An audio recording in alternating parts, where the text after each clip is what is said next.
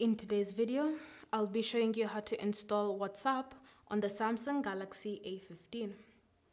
The first step is to open the Play Store, then search for WhatsApp.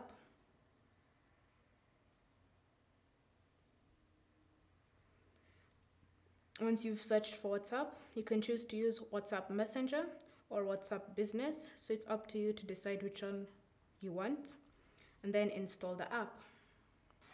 Once installed, you can choose to launch it from the Play Store, or you can go back to the home screen and in the app drawer, search for the newly installed app. Then tap on it to launch it. Select the language you wish it to be in, then continue. Agree to the privacy policy and terms of service. Then give it permissions. Next, confirm your phone number and tap on next. Then confirm that it's the correct phone number. If it's not, you can choose to edit it or you can just continue. Then you can choose a way to verify your phone number. You can choose to have a missed call or you can choose to continue verify with another way. So choose between the two options and then give it permissions.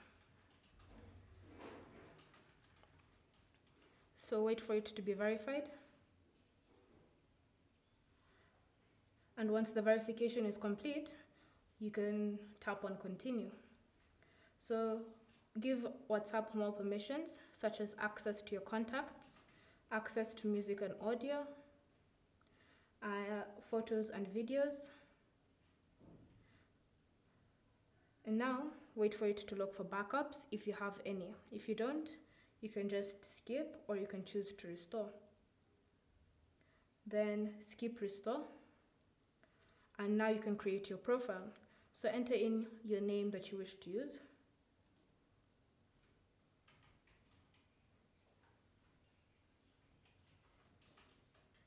And you can choose to have a profile photo or you can just tap on next. So you can choose to create a passkey as well or you can just skip and then wait for your WhatsApp to be created. So now you should see a list of all contacts that you can chat with available down here. You also have the options of seeing updates of status and channels. You can choose to create a video call. It's all up to you. Thank you for watching. If you have any questions or comments, leave them down below and we'll get back to you.